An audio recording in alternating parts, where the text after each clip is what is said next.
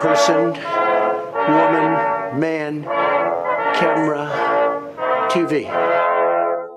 Low IQ Joe Biden's insane electric vehicle mandate will totally obliterate the U.S. auto industry, and it won't take long.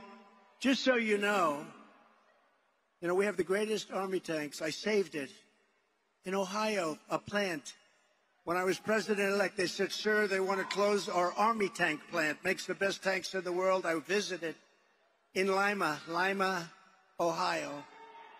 And I, I saved it. I said, how can you do this? I looked, the complexity, you'd never be able to build a plant like this. Turned out we made more army tanks than anybody. They did a great job. But they want to make them now electric so that when you go into enemy territory and you obliterate the enemy and you knock down and those tanks are firing, you do it in a environmentally friendly way. The problem with the army tanks, like cars and like trucks, the problem is that you would have to bring a battery pack along. You're going to pull it like a little wagon, like a child pulls a wagon.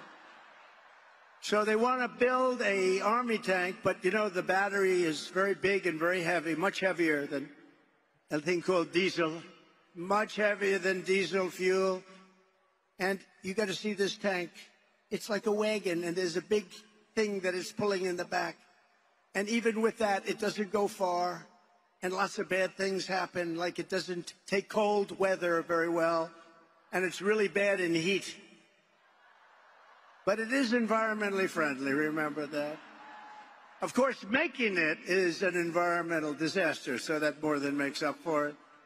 And they want to have your jet fighters now. I got more planes. I rebuilt our entire military. They want to make your jet fighters use a fuel that's environmentally friendly, but it makes the plane 18% less efficient.